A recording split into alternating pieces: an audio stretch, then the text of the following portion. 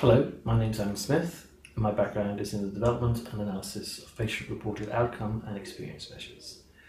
I work in the outcomes research team for York Health Economics Consortium. This is the third in a series of webinars where I will be discussing the implementation of PROMs. In this webinar, I cover how to get the most out of PROMs. This is therefore of most relevance if you are thinking of introducing PROMs into practice, or have introduced PROMs but want to increase their uptake or make better use of the data being collected. In the first webinar, I covered what PROMs are and the important things to consider when selecting a PROM. In the second webinar, I covered the two main issues of PROMs in healthcare. These are during doctor-patient consultations, for example to encourage patient or service user involvement and enhance the quality of the interaction, and for healthcare reconfiguration purposes, for example quality improvement and benchmarking.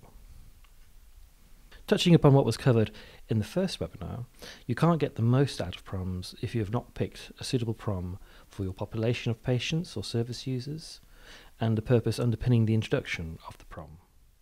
To make sure your data is useful, you need to make sure your PROM is measuring what it claims to measure, i.e. it is valid, and measures this consistently, i.e. it is reliable.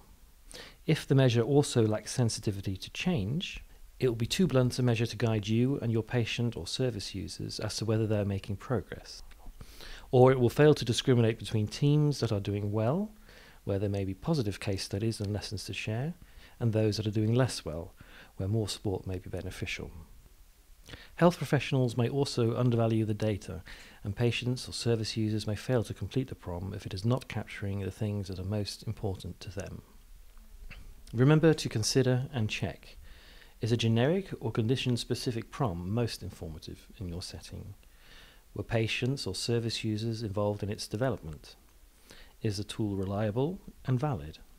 Does it have sensitivity to detect change for either measuring individual patient progress, for use during consultations, for example, or a population of patients' progress, for instance, for benchmarking or quality improvement? A quick check on the internet can often identify papers and resources to help you answer these questions. It is helpful to involve staff and patients and service users when you choose your PROM.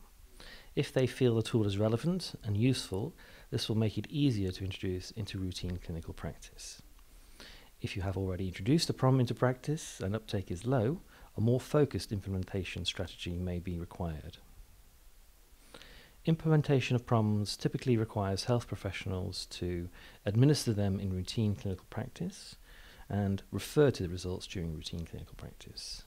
Doing one without two runs the danger of a tick box culture developing, losing the potential benefits of PROMs. Even if you have picked the most suitable PROM for your setting and engaged with staff and patients or service users, there still may be challenges, including concerns that they have been introduced for performance management purposes, to check up on staff rather than to improve quality of care. The added workload of administering PROMs, data entry, if not electronic, and time during consultation to refer to the results. Complexity of accessing and interpreting the data on systems, and unease due to the perceived new way of working, or perception that the data is not very useful.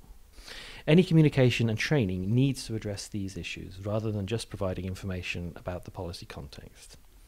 It is beneficial to provide information about how the tool was developed, how robust the data are, and why they are being introduced, whilst ensuring that the administration and feedback of the PROMS data is as simple as possible, for example, through use of electronic patient-reported outcome measures.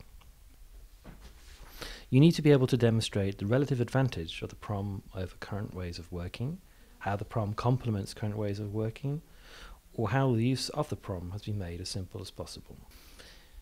Feedback of PROMs data is also important for both service users and health professionals. Without feedback, or if the feedback is too complex, the incentive to complete and refer to the PROM during routine practice is removed. The data will go off into the black box. If PROMs are being introduced to refer to during consultations, the feedback needs to be easy to access and to understand.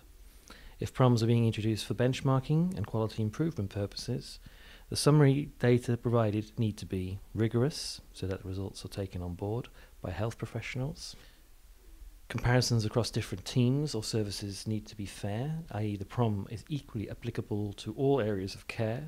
Data are based on a sufficient number of completed PROMs.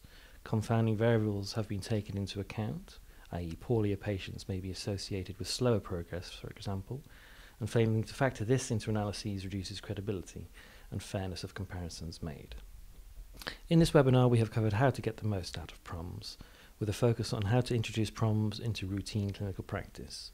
The key points to remember are to ensure that the PROM selected is valid, reliable, and sensitive to detect change, otherwise, clinicians may undervalue the data obtained.